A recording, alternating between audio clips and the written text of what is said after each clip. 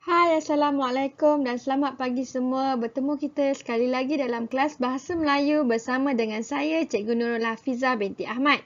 Hari ini kita belajar tata bahasa yang tajuknya ialah kata arah. Mari dengar apa penerangan cikgu tentang apa itu kata arah.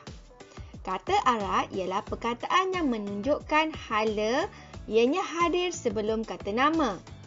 Contoh kata arah kanan, kiri, atas, bawah, depan, hadapan, belakang. Seterusnya, mari kita buka buku teks Bahasa Melayu muka surat 64. Kata arah. Tajuk Selamat dalam pesawat. Mari kita baca sama-sama petikan ini. Aina dan Aiza berasa seronok menaiki kapal terbang. Aina dan ibunya duduk di kerusi hadapan di sebelah kiri. Aiza dan ayah pula duduk di kerusi belakang di sebelah kanan. Aina melihat tempat menyimpan beg di bahagian atas kabin. Jaket keselamatan berada di bawah tempat duduk. Mari kita lihat contoh ayat kata arah. Kanan. Aiza duduk di kerusi sebelah kanan. Kata arah kedua, kiri. Contoh ayatnya. Aina duduk di kerusi sebelah kiri. Kata arah yang seterusnya, atas. Contoh ayatnya, Aina menyimpan beg di bahagian atas kabin. Kata arah yang seterusnya, bawah. Contoh ayat kata arah, jaket keselamatan berada di bawah tempat duduk. Kata arah yang seterusnya, hadapan. Contoh ayatnya, Aina dan ibunya duduk di kerusi hadapan. Dan kata arah yang akhir belakang. Contoh ayat kata arah Aiza dan ayahnya duduk di kerusi belakang. Terusnya mari kita lihat buku aktiviti jilid 1 Bahasa Melayu muka surat 69.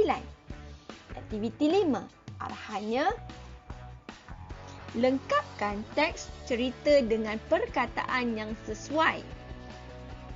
Jawapan telah diberikan. Kata arah yang pertama, hadapan.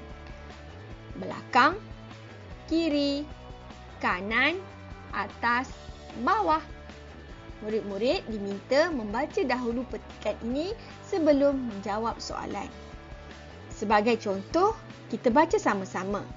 Aiza dan Aina menyertai pertandingan lalu lintas. Cuba tengok gambar di sebelah ini. Aiza memandu di hadapan Aina. Aiza memandu di hadapan Aina. Aina pula memandu di belakang Aiza. Mereka memandu dengan berhati-hati. Perenggan yang seterusnya. Di sebelah tempat kosong, mereka terdapat balai polis. Ha, ayat-ayat yang seterusnya murid perlu baca dan isi tempat kosong dengan kata arah yang sesuai. Seterusnya buka buku aktiviti jilid 1 Bahasa Melayu muka surat 70.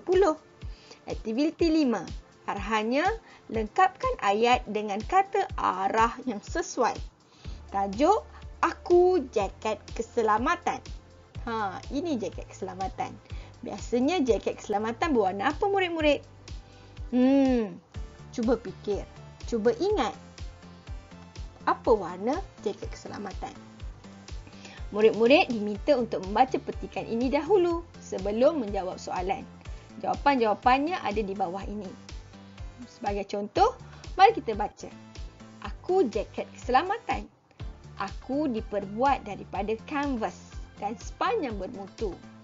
Badanku dilengkapi dengan tali pengikat tali pengikat itu terdapat di sebelah kiri dan kanan badanku. Ha, ayat yang seterusnya ni murid baca sendiri dan jawab sendiri. Baiklah, Itu sahaja untuk hari ini. Sekian terima kasih. Selamat ber-PDPR dan selamat bercuti. Selamat menyambut Hari Raya Aidiladha. Dan kita jumpa lagi.